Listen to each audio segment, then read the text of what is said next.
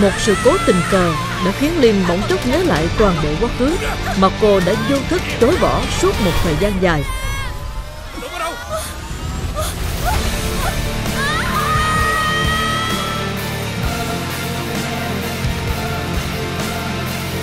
Từ đó liên quyết tâm dấn thân vào hành trình tìm lại kẻ thù năm xưa, dù cô biết rằng đó sẽ là một chặng đường của máu và nước mắt.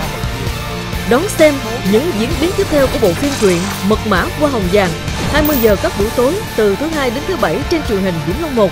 Quý khán giả có thể xem đầy đủ các tập đã phát sóng qua ứng dụng THVNI tại địa chỉ www.thvnli.vn hoặc tải ứng dụng THVNI trên Google Play hoặc App Store.